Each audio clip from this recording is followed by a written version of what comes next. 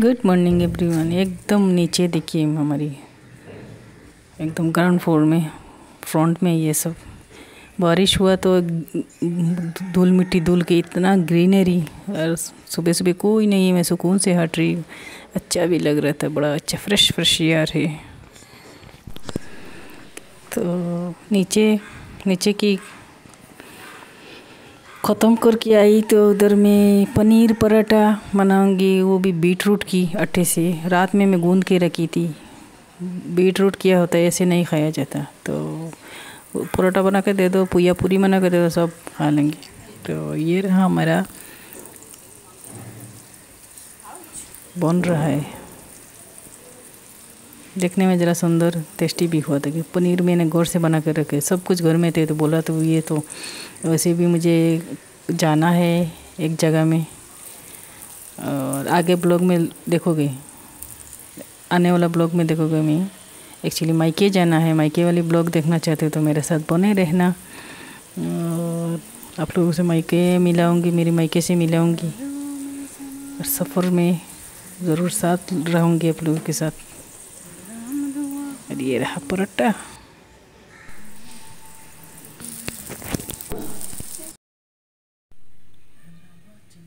जे ना वो पराठे के साथ साथ थोड़ा सा मैदे की डो थे, मैं एक लच्छा पराठा भी बनाई थी, और वो भी खाया ये भी खाया चलो, कल सब्ज़ी ले आए थे। अब सब्ज़ी को मैं रात को छोड़ दी थी।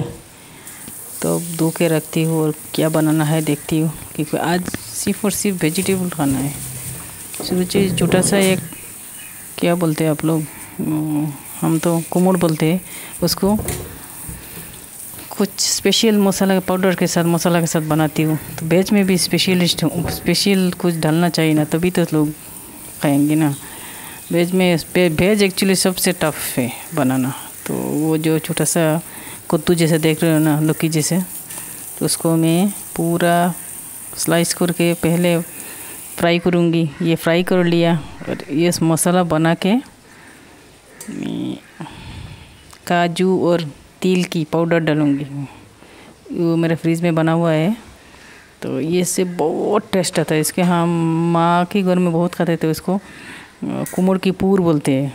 तो थोड़ा थोड़ा ग्रेवी ग्रेवी होगा ना तो सिसमी सीड का वाइट सिसमी सीड का जो फ्लेवर है, बहुत अच्छे से लगता है इसमें।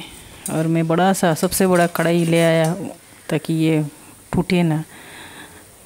एक एक रहे ना तो सब्ज़ियाँ बॉयल हो जाए तो टूट जाते हैं तो। बॉयल नहीं, मैंने फ्राई किया। शेलो फ्राई किया, बहुत टाइम लगा। और ये सीक्रेट मसाला मैं डाल रही हूँ पाउडर में डाल रही हूँ, काजू और तिल की पाउडर इससे बढ़िया टेस्ट आएगा। तो ये रहेगा एक वेजिटेबल करी और दूसरा में गर्मी है तो वो ये देखिए मैं ओनियन की पकौड़ा बनाऊँगी और का, दही कड़ी। दही कड़ी में ये पकौड़ा डालना है। तो एक को मैं लगा दिया साइड इसको काम ख़त्म हो, गिनी आँच में थोड़ा पकाऊँगी और सूखा सूखा रहेगा तो ये थोड़ा थोड़ा पानी पानी और सूखा सूखा रहेगा। तो पूरा लौकी मैंने बना लिया और दो बार में खाएँगे। एंड चलिए दही कड़ी की आधा काम मैंने कर लिया, ये जो रस्से में बना लिया। कितने बार शेयर की कर चुके आप लोगों के साथ? और नहीं शेयर करनी, मुझे और ये पकौड़ा बनाना है। मतलब कि किचन में दौड़ दौड़ के जितना शॉर्ट टाइम में कुछ बना सको ना इस गर्मी में वही अच्छा लग रहा है। और आज तो बिल्कुल नॉन वेज छूँगी नहीं, सब वेज है। सबको अच्छा लगा, इतना गर्मी में नॉन वेज खाओ तो गर्मी ज़्यादा लगती है। तो ये पकौड़ा ऐसे ही यूनियन की पकौड़ा बहुत टेस्टी होते हैं। तो इधर हमारी हेल्पर आंटी आ गई। बर्तन साफ़ सफ़ाई हो रहे हैं। कितने टाइम बर्तन साफ़ होते हैं यार, कुछ भी बनाओ तो एक, दो चीज़ बनाओगे तो पूरे आधा घर की, आधा किचन की बर्तनें ख़राब हो जाए। ये स्पून ढक्कन, बाटी, जो बोलो मैंने किचन में तो बर्तन ही लगे गए और खाना पकाओ तो तो और बर्तन लगेगा ना। फिर भी मैं ज़्यादा से ज़्यादा कोशिश करती हूँ ताकि कम बर्तन में और फिर भी नहीं होते। कम बर्तन यूज़ करो, फिर भी नहीं होते। हमारे खाने की स्टाइल ही ऐसा है कि ज़्यादा बर्तन लगते लोग देखना ब्रेड और ये सॉस मेयोनीज ये डाल के एक नाश्ता हो जाता है तो इसमें बर्तन कहाँ लगते हैं? हमारे तो परोठा बना, ये, वो स्टफिंग रोटी की तवा, बे, बेलन सब मिला के थ्री टू थ्री ये मेरा बड़ा सा बास्केट है ना?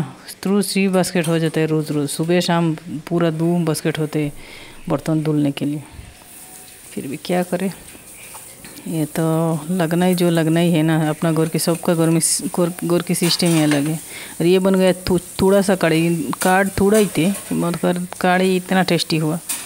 और ये दूसरे वाला भेज कैसा लग रहा है आपको मेरी रेसिपीज़ और इस कड़ी में बस तड़का लगाना है। तड़का लगाने गई तो मेरे सूखे लाल मिर्च नहीं थे तो स्किप कर दिया।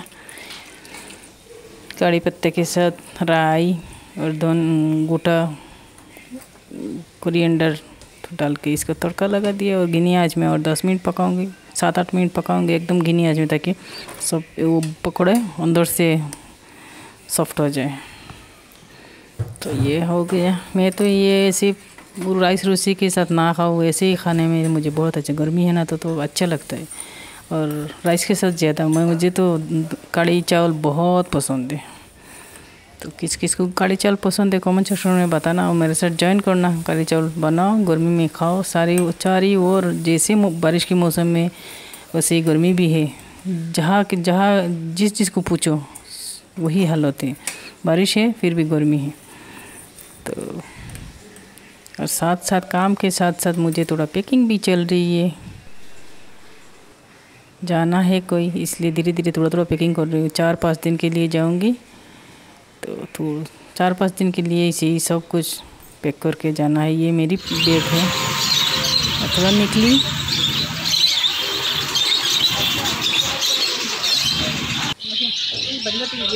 पेट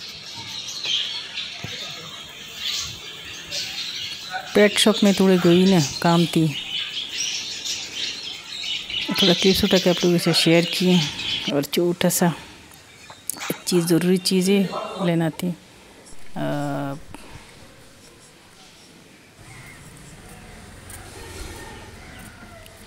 ये पास वाली गोर में गई थी और ये शॉपिंग करके ले आई। बाहर निकलो तो ये ज़रूरी थी ये ख़रीद के ले आई। तो ये था मेरा आज का आप लोगों के साथ डे शेयरिंग कैसे लगा? बोलना ज़रूर। आई होप आप लोगों को अच्छा लगा। अच्छा लगा तो कमेंट सेक्शन में ज़रूर कमेंट करके बताना क्या अच्छा लगी। तो विदा ले रही अल्लाह हाफिज़। अल्लाह हाफिज़। Stay safe stay happy stay connected Allah हाफिज़।